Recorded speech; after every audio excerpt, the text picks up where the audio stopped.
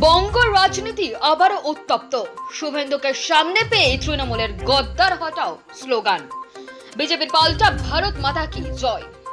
স্বল্প সময়ের ব্যবধানে তৃণমূল এবং বিজেপির কর্মসূচি উপলক্ষে ভারত ছাড়ো আন্দোলনের স্মরণ দিবস পালন।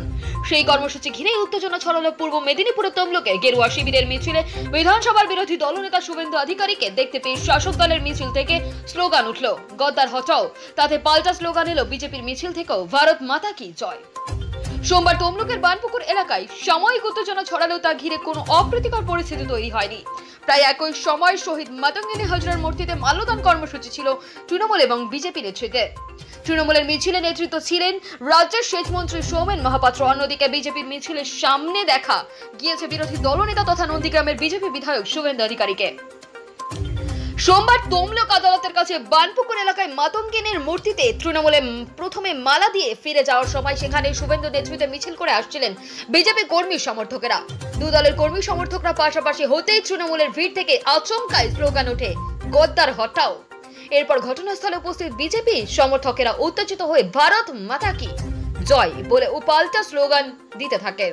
ওই ঘটনার সময় মিছিল নিয়ে কিছুটা এগিয়ে গিয়েছিলেন শুভেন্দু অধিকারী। তবে শাসক বিরোধী দু দলের এই কর্মসূচি ঘিরে অপ্রীতিকর পরিস্থিতি এড়াতে বানপুকুর এলাকার আগে থেকেই বিশাল বাহিনী মোতায়েন করেছিল তমলুক থানার পুলিশ।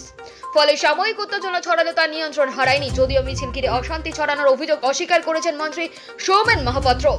তার দাবি, কোথাও কোনো সমস্যা হয়নি। আগাম কর্মসূচি অনুযায়ী ভারত ছাড়ো আন্দোলনকে শ্রদ্ধার সঙ্গে পালন করছে তৃণমূল। এই আন্দোলনে গাধীপুরে মাতঙ্কিনী হজরার আত্মবলিদানকে স্মরণ করেই তার মূর্তিতে প্রতি বছরের মতো এবারও মালদান করা হয়েছে। তবে স্বল্প সময়ের ব্যবধানে দু দলের কর্মসূচি থাকার কিছুটা ভিড় জমে গিয়েছিল। তবে কোনো বিশৃঙ্খলাই ঘটেনি। অন্যদিকে এই কর্মসূচি ঘিরে কোনো রকম সমস্যা হয়নি বলে পাল্টা দাবি করা হয়েছে বিজেপিও।